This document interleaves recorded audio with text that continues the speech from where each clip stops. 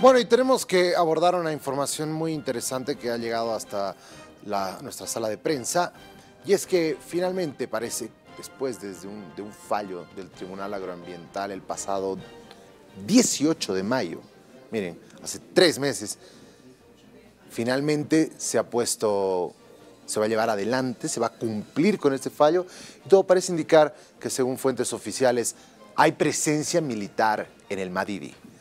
Y para ello estamos junto a Antonio Cajías, él es director de La Voz de la Naturaleza. Nos va a contar justamente, él tiene datos más importantes sobre este tema. ¿Cómo estás, Antonio? Gracias por visitarnos una vez más. Buen día. ¿Cómo estás, Jorge Luis? Muy buenos días a todos. Evidentemente, después de casi tres meses estamos confirmando la presencia de efectivos del ejército que son parte del regimiento Murillo, quienes ya están acantonados en un sector denominado Machúa. Eh, como antecedente, querido Jorge Luis, quiero comentar a toda audiencia eh, que la semana pasada hemos presentado una demanda en contra del coronel Zúñiga, quien es el comandante del ejército, por incumplimiento de deberes. Esto fue el pasado miércoles, toda vez de que ya habían pasado aproximadamente, como bien lo dijiste, bastante tiempo y no, no había justamente la voluntad por parte de las Fuerzas Armadas para poder realizar el traslado y el cumplimiento de las resoluciones, principalmente 052 y 058, que conmina a las Fuerzas Armadas a hacerse presente en el río Tuichi para controlar la minería ilegal. En ese sentido, creemos que hemos sido oídos por parte justamente del ejército y es que el fin de semana a través justamente de una de un trabajo conjunto entre las fuerzas eh, armadas representadas por el ejército, la policía boliviana, la ANH y la HAM, además del Cuerpo de Protección del Madidi, se han hecho presentes justamente eh, en, esta ah, región. Eh, sin embargo, comentarles a todos que ha habido una ah, oposición de parte de las comunidades en el Madidi, eh, mm. toda vez de que no había una conformidad de parte justamente de las poblaciones. Estas poblaciones son Santa Rosa, Azairamas, y Virgen del Rosario, quienes además tienen la presencia de la familia Cuevas, que son justamente los denunciados y que es el origen justamente de esta demanda. A ver, quiero ver si, si entiendo. Hay un, hay un fallo de un tribunal agroambiental que, bueno, para comenzar sale el 22 de, el 18 de mayo. A raíz de eso, el 28 de julio se instruye a las Fuerzas Armadas, porque hemos visto el comunicado, se instruye a las Fuerzas Armadas a hacer efectivo el fallo del tribunal. Bueno, un mes después, recién el fin de semana pasado, aparecen las Fuerzas Armadas en el lugar. Y ahora resulta que hay comunidades que se, seguramente se están beneficiando de, la intoxicación del, río Tuichi, que se están oponiendo a esta situación. Em, pero bueno, no importa que se opongan, porque de todas formas hay que hacer cumplir un fallo y hay que retirar toda la minería ilegal de, de la zona. Lo más preocupante, eh, Jorge Luis, justamente es el tema de que las Fuerzas Armadas han tenido que hacer una especie de negociación con estas comunidades.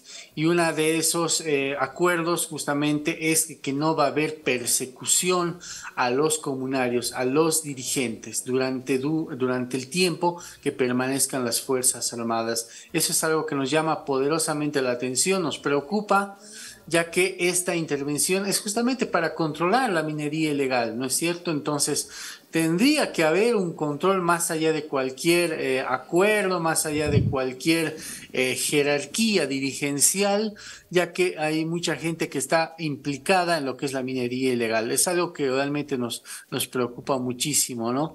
De todas formas, ya están acantonados en el puesto denominado Machúa, que es un puesto donde anteriormente era utilizado por el Cuerpo de Protección del Madidi y que ahora ha sido reutilizado para que los efectivos del ejército, del regimiento Murillo, estén justamente en este lugar, acompañados de la fuerza eh, policial, acompañados también por dirigentes y que bueno, eh, la cantidad de efectivos se habla de 18 militares que están justamente en esta zona. Bien, 18 militares. ¿Qué sabemos acerca? Los militares son increíblemente ordenados. ¿Qué sabemos en relación al, cronograma, al tiempo que van a cumplir, a las tareas que van a desarrollar, durante cuánto tiempo. ¿Tenemos alguna novedad sobre eso? Es extraño porque justamente van a estar hasta pasado mañana, es decir, hasta el 31, ¿no es cierto? Entonces, eh, prácticamente que se cumple ahí la resolución del juez agroambiental. A como se diría. Prácticamente han ido simplemente a hacer una especie de, de cumplimiento, ¿no es cierto? Faltando dos, tres días, toda vez de que, como bien lo dijiste, esto ya estaba el 18 de julio y lamentablemente se dejaron esperar bastante, no sabemos por qué, me imagino que deben tener intereses económicos en la zona, ya que las Fuerzas Armadas se sabe que tienen derechos mineros en el lugar, así que Lamentablemente vamos a tener los dos días y esperamos que el juez agroambiental, que por cierto ya se ha pronunciado y dijo que no va a emitir más resoluciones en este, en este sector, es algo que también nos preocupa y pone en indefensión justamente eh, a, las poblaciones indígenas y a las poblaciones eh, urbanas que sobreviven eh, justamente por el tema de la, del consumo de pescado, el acceso al agua y evidentemente todo lo que es la biodiversidad. Bueno, terribles noticias, sin duda alguna, nada, nada, placenteras lo que, lo que estamos escuchando. Eh, pero ahora, ¿qué sigue? ¿Cuál es el siguiente camino cuesta arriba en relación a llevar adelante una lucha frontal contra la minería ilegal en este lugar que todo parece indicar que la institucionalidad ha fallado por completo? Bueno, eh, como ciudadanía, como control social, como eh, representantes de la sociedad, pues hay que hacer el seguimiento para que el cumplimiento realmente sea efectivo, ¿no? Y de que haya resultados en este corto tiempo.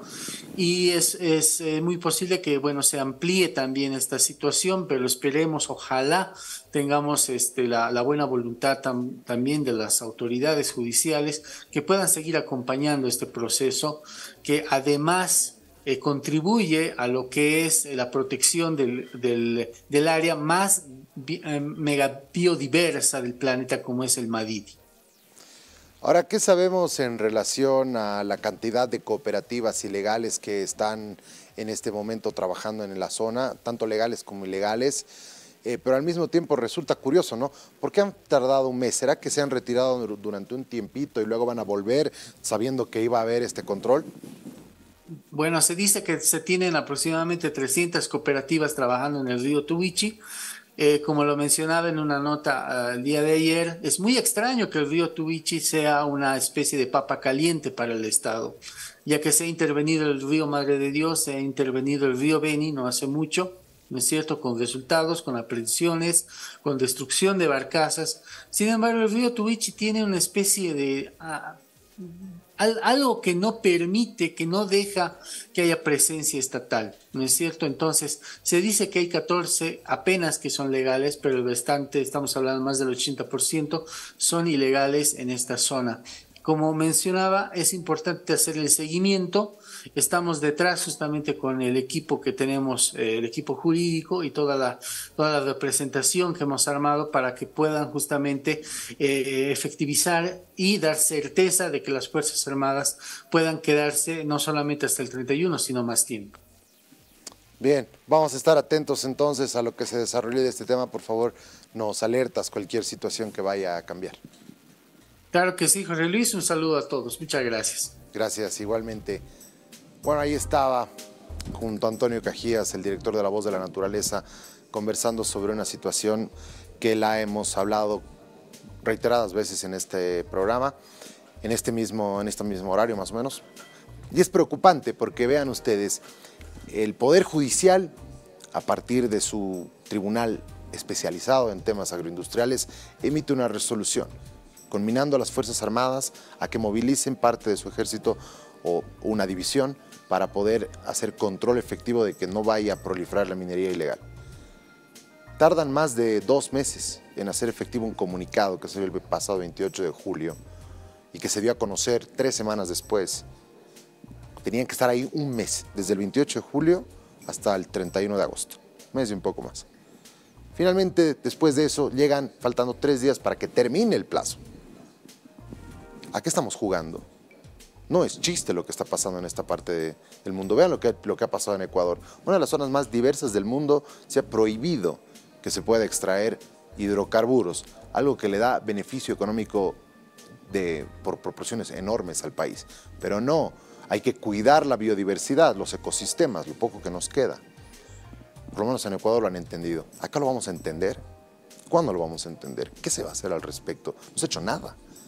Lo que han ido a hacer es directamente una, un saludo a la bandera. Van a estar, son ocho militares que van a ir a, a hacer un par de redadas, quién sabe qué. A ver si nos informan qué, cuánto tiempo se van a quedar. Es lamentable lo que está pasando y no tenemos absolutamente ninguna certeza de que esto vaya a terminar o de que vaya a ser controlado de alguna forma. Bien, continuamos con otros temas.